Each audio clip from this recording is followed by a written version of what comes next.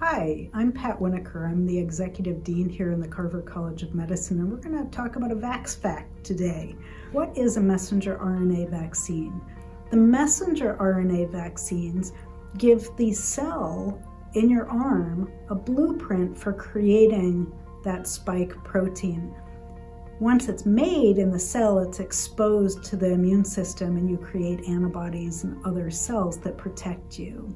The messenger RNA cannot integrate into your DNA or your, your human genes. The messenger RNA is broken down very quickly once it's exposed in the body. Can you get coronavirus or COVID-19 from these vaccines? And the answer is no.